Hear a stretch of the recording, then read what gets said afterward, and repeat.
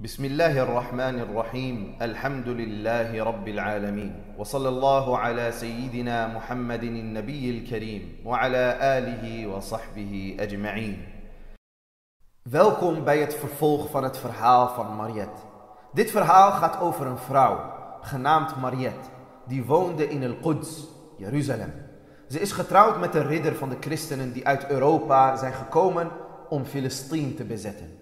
Maar de moslims hebben verzet getoond en hebben na 88 jaar bezetting onder leiding van Salahuddin al-Ayyubi de christenen kunnen verslaan op het slagveld van Hittin. Vervolgens kwamen ze naar Al-Quds om het te bevrijden. En Salahuddin heeft Al-Quds inderdaad kunnen veroveren. En Mariette raakte haar man kwijt. Ze weet niet meer waar hij is. Ze zocht hem overal, maar tevergeefs. Niemand heeft er ook nieuws over. Ze had daarnaast nog het idee en het vooroordeel dat de moslims monsters zijn en misdadigers en dat ze mensenvlees eten. En ze had ook het idee dat Salahuddin een eng mens was, die heel slecht en agressief was. Een monster, een verrader, een moordenaar. Maar toen de moslims de stad binnenkwamen en het nieuws kwam bij de vrouwen en bejaarden, zagen ze heel wat anders. De soldaten die binnenstroomden met hun wapens en alles erop en eraan, hebben geen vlieg kwaad gedaan. Ze raakten niemand aan en ze hielden zich volledig aan het verdrag. Iedereen die wilt vertrekken uit de stad mag dat doen en mag alles meenemen wat hij of zij wil. Het enige wat ze moeten doen is een bepaald bedrag betalen en dan vertrekken. En ze hoorden ook dat de markt weer is geopend. Dus er is weer leven in de stad. Iedereen is veilig. De vrouwen konden ook de straat op zonder angst. Kortom, de moslims deden niemand kwaad. Zijn dit de mensen waarvan we leerden dat het misdadigers zijn? Hoe is dit mogelijk? Vervolgens nog kwam het nieuws dat de moslims al-Masjid al-Aqsa terugbrachten naar zijn oorspronkelijke staat. Ze maakten de masjid schoon en hebben alle christelijke symbolen eruit gehaald. En hij werd weer een eenvoudige, reine moskee. Zonder beelden en zonder kruisen en zonder shirk. En ze kwamen met de grote bekende mimbar die Nuruddin Zenki al-Shahid heeft gebouwd. Die is trouwens in stand gebleven tot het jaar 1969, toen een Joodse extremist hem heeft verbrand. De moslims plaatsten deze mimbar in de moskee. En de khatib van de moslims deed zijn beroemde preek, al-Khutbah, van de Fath op de dag van al-Fath. En de christelijke vrouwen in de stad, waarvan hun mannen en vaders vermist waren of dood, kregen alles te horen via een getuige die dit alles heeft meegemaakt. Hij zegt, ik ging naar binnen in al-Masjid al-Aqsa en hij is christen. En niemand vroeg mij wie ik ben en niemand hield mij tegen. En ik liep tussen de moslims. Iedereen zat op de grond. Geen verschil tussen hun statussen. Iedereen was gelijk. Ook hun emir was gelijk aan hun burger. En toen de mu'adhin de adaan deed, was iedereen heel kalm en geconcentreerd. En ze waren nederig voor Allah, Rabbul Alamin. Hij zegt, ik stond versteld. Dit zijn de mensen die gisteren als gekken op het slagveld aan het strijden waren. Het waren duivelse krijgers tijdens de oorlog. Hoe zijn ze nu helemaal veranderd in kalme aanbidders? Vervolgens zag ik hun imam die op de minbar stapte. En hij gaf een godbeh dat zelfs de aarde en stenen laat bewegen. Als de rotsen het hoorden, dan zouden ze tot leven komen. Zo geweldig was zijn preek. Vervolgens dacht ik na. En ik dacht, zulke mensen kun je niet van winnen. Ze zijn onverslaanbaar. Als ze zo hard zijn op het slagveld en daarna zo zacht en nederig in de moskee, dan kunnen deze mensen nooit verliezen, al zouden ze de hele wereld tegen ze hebben. Omdat de kracht van iman in hun hart nog veel sterker is dan wat voor materiële kracht dan ook. Ze zijn nergens bang voor, behalve voor Allah subhanahu wa ta'ala. Ze houden van hem en hebben tegelijkertijd angst voor hem. Hij zegt, deze mensen heb ik gisteren gezien op het slagveld. En ik zie ze vandaag in de moskee. En ik besef dat deze mensen niet bang zijn voor de dood. Integendeel, ze houden van de dood. Ze willen graag dood voor Allah. Hij zweert en zegt, deze huizen hier in Al-Quds, wallahi deze huizen krijgen we nooit meer terug. Zolang deze mensen zich vasthouden aan hun religie.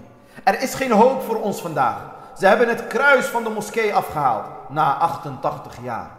Niks zal hier meer nog wapperen behalve de uitspraak van Mohammed. Hij bedoelt La ilaha illallah. Zolang ze zich vasthouden aan hun religie. En dit klopt helemaal. Iedereen die zich goed vasthoudt aan zijn religie, niemand kan hem in de weg staan. Ook al is het een foute religie. Behalve iemand die nog harder aan zijn religie vasthoudt. Iemand die gemotiveerd vecht voor een idee is niet hetzelfde als iemand die vecht voor dunya. Deze moslims worden geleid door Salahuddin. Maar zit het succes alleen in hun leider? Stel dat Salahuddin er niet was, wat dan? Dan zou iemand van hun midden hun leider zijn, die net als Salahuddin zou zijn. Het geheim ligt dus niet in hun leider per se, maar het hele volk was net als hun leider. Ze willen allemaal de dood voor Allah en ze willen de rechtvaardigheid onder de mensen stabiliseren. Mariette hoorde al deze woorden en ze voelde zich niet lekker. Hoe kan je goed praten over de moslims? Het zijn onze vijanden. Ja, zij ziet wel de piramidestructuur in haar volk. Een soort hiërarchie. De priesters of leiders die zoveel meer waard zijn dan de normale burgers. En die alles mogen terwijl de rest niks mag. Maar is dit niet gewoon normaal bij alle volkeren en religies? Ze had nooit verwacht dat er een religie was die deze structuur niet heeft. Ze begon haar buren te vragen. En ze ontdekte dat er sommige van haar buren besloten om te blijven onder de regie van de moslims. Ze betalen één dinar per jaar en blijven wonen. Ze schrok. Hoe kun je leven onder heerschappij van de moslims? Ze zeiden, deze mensen zijn genadevoller met ons dan onze eigen familieleden. Deze mensen zijn beschaafd en goed opgevoed. Ze houden zich aan hun woorden. Toen zei Mariette, nee, ik blijf niet onder de heerschappij van iemand die geen christen is. Ze was vastberaden om toch te vertrekken, ook al zonder haar man. Ze weet niet eens waar hij is. En enkele van haar vriendinnen besloten ook te vertrekken en niet onder de heerschappij van de moslims te blijven. Dus ze vormden samen een groep om samen te reizen en niet bij de moslims te blijven. En wat deze keuze voor haar nog sterker maakte, was dat alles wat ze nog had haar liet denken aan haar vermiste man. Het huis, de spullen, de omgeving en de kleren. Ze voelt iedere keer pijn als ze deze dingen ziet. Daarom was haar keuze om te vertrekken ook versterkt, om de pijn te verzachten. Toen de karavaan klaar was om te vertrekken, sloot Mariette zich erbij aan. En ze keek achterom. Ze nam afscheid van haar geliefde woning en haar mooie omgeving waar ze haar hele leven heeft doorgebracht. En ze betaalde het afgesproken bedrag en ze vertrok uit El-Quds, de stad waar ze is geboren. Ze heeft nog nooit ergens anders geleefd. Ze keek toen naar de gouden koepel van el Masjid al-Aqsa, waar eigenlijk het kruis al jaren op stond. Maar de koepel was kaal en had geen kruis meer. En het voelde alsof ze haar hart achterliet in El-Quds terwijl ze vertrok. Dit zijn emoties, beste mensen. Ook al zijn het vijanden van de islam en vijanden van de moslims, dat neemt niet weg dat dit gewoon mensen zijn die ook pijn voelen. En dat we daar rekening mee kunnen houden. En wij hoeven als moslims geen koudhartige wezens te zijn. Iemand die zijn huis moet verlaten, hoe fout die ook is geweest, zal pijn voelen. En dat is normaal. En Mariette voelde de pijn. Hoe kan deze stad nu in de handen van haar vijand zijn? En haar man is vermist en ze weet niet eens of hij onder de grond of boven de grond is. En de herinneringen van haar jeugd gingen door haar hoofd. Het is alsof ze de rest van haar geluk heeft begraven in deze stad en weg is gegaan.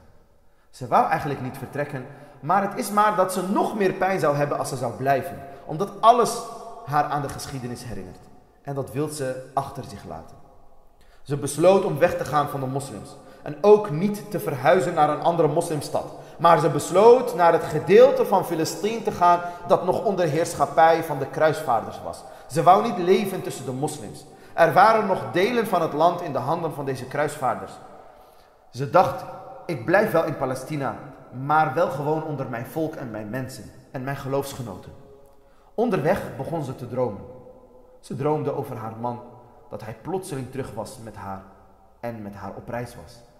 En de karavaan veranderde in een leger. En het leger maakte een overwinning. Maar ze deed haar ogen open.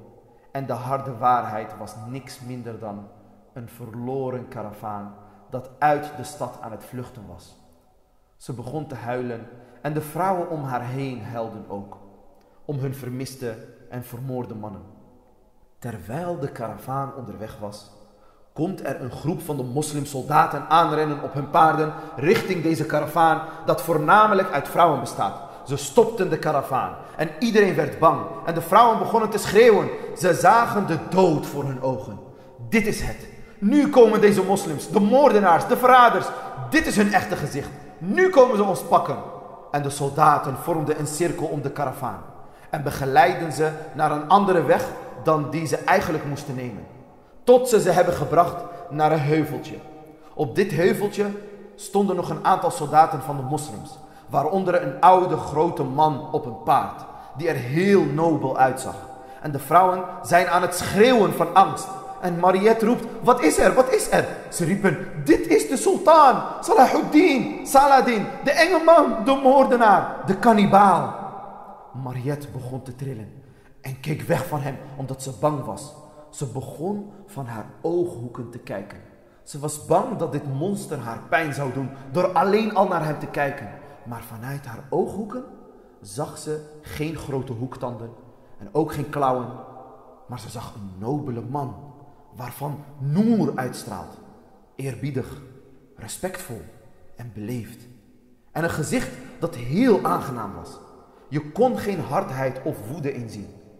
Toen deze karavaan aankwam met de vrouwen bij Salahuddin vroeg hij, wat is er met deze mensen? Wat is er met ze? Waarom zijn hier zoveel vrouwen? Toen zei een vrouw, dit is een karavaan met vrouwen waarvan hun mannen tijdens het slagveld gegijzeld zijn. Ze zijn nu gevangen bij de moslims. Of sommigen zijn gestorven of vermist. We weten niet waar ze zijn. En terwijl ze dit aan het uitleggen was aan Salahuddin, zaten de andere vrouwen te huilen. Maar Mariette huilde niet. Ga je huilen tegenover een monster? Verwacht je medelijden van hem? Gaat hij jou genadevol zijn? Maar ze werd verrast. Een grote verrassing. Wat ze totaal niet had verwacht. Ze werd verrast doordat Salahuddin zelf begon te huilen met de vrouwen. Ja Allah. Vervolgens gaf hij een opdracht. En plots bewogen de soldaten op hun paarden. En ze gingen weg. En even later komen de soldaten terug met hele grote aantallen van de gevangenen van de christenen. En toen gaf Salahuddin nog een opdracht. En de soldaten vertrokken weer en kwamen terug met heel veel dieren en met grote aantallen voedsel, drinken en geld. En hij gaf al deze dieren en voedsel en geld aan de gevangenen. En hij zei tegen ze, jullie zijn vrij. Wie van jullie zijn vrouw kan terugvinden en wie van de vrouwen haar man kan terugvinden, keert terug naar elkaar. En wie haar man niet kan vinden, die is dan gestorven. Dit is alles wat wij hebben. We hebben geen andere gevangenen. En wie van de mannen zijn vrouw niet kan terugvinden, is vrij om te vertrekken en haar op te zoeken. Jullie zijn allemaal vrij. En ineens begonnen de geluiden van vreugde onder de christenen. Iedereen schreeuwde van blijheid. De ene vrouw vond haar man terug. En de andere man vond zijn vrouw terug. En een ander vond zijn zus terug. En iedereen was blij en rende tussen de menigte op zoek naar zijn familie. En Mariette rende ook tussen alle mannen, zoekend naar haar man. En de grote verrassing stond daar voor haar ogen. Haar man zat inderdaad tussen de gevangenen. Hij was heel en gezond. Niks mankeerde hem. Ze vergat alles. Alle pijn en verdriet was ineens weg. En ze werd heel blij en gooide zich in zijn armen. De nobelheid en vrijgevigheid van de sultan Salahuddin heeft het verdriet omgezet in vreugde. Wie doet zoiets op de wereld, beste mensen? Dit is onze beschaving. De beschaving van de islam. Vergelijk dat met hun beschaving. Wanneer zij overwinnen en een land inpikken of koloniseren. Wat doen ze dan met de burgers? Vergelijk. Zodat je weet wat het verschil is door alle tijden heen. Mariette was weer verenigd met haar man. In volle vreugde. En al het verdriet was weg. Ze begonnen met elkaar te overleggen. Wat gaan we doen? Gaan we terug naar Al-Quds? Of vervolgen we onze reis naar de steden van de christenen? Ze besloten uiteindelijk toch door te gaan naar de christelijke steden. Ze wilden niet leven tussen de moslims. Ook al hebben ze nu zoveel goedheid van de moslims gezien en zoveel medelijden, maar toch hebben ze liever dat ze leven tussen hun volk en hun geloofsgenoten. En dat is een normaal gevoel bij de mens. De karavaan splitste nu in twee. Een deel keerde terug naar Al-Quds en een ander deel met Mariette en haar man vervolgden de reis. Dit keer was Mariette op reis en ze voelde in haar hart de erkenning voor deze geweldige man. Ze zag in hem de menselijkheid en de waarheid en de nobelheid. Ze zag in hem dat hij weliswaar een winnaar is in een zaak waarin hij gelooft. En dat hij vecht voor waar hij in gelooft. En daar heeft hij recht op. En ze wist ook dat in de geschiedenis de stad Jeruzalem al eeuwen onder de moslims was. En nooit was er een christen of jood iets aangedaan in al die eeuwen. De problemen begonnen pas toen de christenen de stad veroverden en de moslims begonnen uit te moorden. Als ze het lieten bij de moslims, dan leefde iedereen nog in vrede.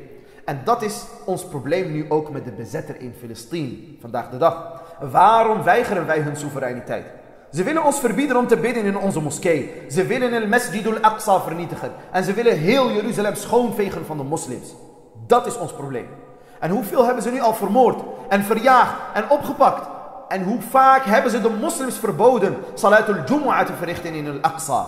Hoeveel kinderen en onschuldige burgers hebben ze doodgemaakt? Hoeveel huizen hebben ze al vernietigd boven de hoofden van de inwoners? Hoe vaak hebben ze onze heiligdommen aangetast en bespot en verminkt? Vergelijk dit met wat wij moslims al eeuwen hebben gedaan. Zowel de Jood als de christen aanbidt zijn God zoals hij wilt. In al-Quds en in heel Filistijn, zonder dat iemand hem lastig valt. Hun kerken en synagogen heeft niemand aangeraakt. Kijk maar naar Kanisatul Qiyamah, het heilige grafkerk in al-Quds. Hoeveel eeuwen was het onder heerschappij van de moslims? Waarom hebben ze het niet vernietigd? De sporen van de christenen zijn overal te vinden in al-Quds. Waarom is het niet weggehaald? Weet jullie waarom? Omdat onze dien, onze islam dit ons opdraagt. Onze geweldige islam, dat is wat wij volgen. Mariette begon bijna op te kijken naar Salahuddin. Ze begon bijna van hem te houden, tot ze weer het gevoel van haar geloof kreeg. Ze werd altijd geleerd toen ze klein was dat ze deze moslims en islam moet haten. En ze begon na te denken of ze één klein foutje kon vinden bij Salahuddin of bij de moslims. Zodat ze tenminste een reden heeft om hen te haten. Ze vergeleek haar haat tegenover ze en hoe de moslims met haar en haar volk zijn omgegaan. Vervolgens begon ze nog iets te vergelijken. Ze hoorde dat de grote paus van Jeruzalem ook vertrok uit Jeruzalem en niet daar wou blijven. En ze hoorde dat hij alles wat hij kon meenemen uit de kerken heeft meegenomen in zijn karavaan. Al het goud en bezit van de kerk zat bij hem in zijn karavaan. Hij heeft alle kerken in Jeruzalem schoongeveegd en niks achtergelaten. En hij gaf helemaal niks aan de christenen die met hem meegingen. Hij gaf het zelfs niet eens aan de christelijke vrouwen die niks hadden om te betalen, zodat ze mochten vertrekken. En hij deelde ook niks met een oude bejaarde die ook niet weg kon. Hij liet alles voor zichzelf. Ze vergeleek dit met Salahuddin toen hij dit nieuws hoorde dat de paus al het bezit van de kerk heeft meegenomen en hem met rust liet. Hij heeft hem niet gestopt. Dit terwijl Salahuddin hem wel kon stoppen. Want het verdrag was dat iedereen zijn eigen bezit mocht meenemen. Niet het bezit van de kerk. Dus eigenlijk was deze paus in overtreding. Maar Salahuddin wou niet dat men gaat zeggen: de moslims hebben iets van de christenen afgepakt. Dus hij liet hem gaan. Mariette dacht: dit is de leider en hoofd van de christenen. Wat doet hij? En dit is de sultan van de moslims. Kijk naar het verschil. Ze had voor eventjes een gevoel van binnen dat ze wenste dat ze moslim zou zijn. Maar heel snel deed ze die gedachte weg. De karavaan vervolgde de reis. En de rijke christenen vertrokken met hun rijkdom. En de grote paus van Jeruzalem vertrok ook met alles wat hij kon dragen. En hij dacht aan niemand van zijn volk. Hij is zeg maar de vertegenwoordiger van Christus op de wereld. Hij zou eigenlijk de lusten en verleidingen van de dunya niet moeten volgen. En het geld laten voor de armen en benodigden. Maar ja, dit soort mensen komen we tot de dag van vandaag nog tegen. En de karavaan van Mariette, samen met haar man, ging door verschillende omgevingen heen. Nadat ze het gebied dat valt onder de moslims hebben verlaten, waren ze nu in gebied dat niet voor moslims, maar ook niet voor christenen was. Een leeg gebied. Ze waren onderweg naar Tarabulus, Tripoli, wat vandaag de dag de hoofdstad van Libanon is. Deze stad was toen nog onder heerschappij van de christenen. En Salahuddin heeft die nog niet bevrijd. En hoe eindigt dit waar gebeurd verhaal? En wat gaat er gebeuren als ze aankomen in Tarabulus?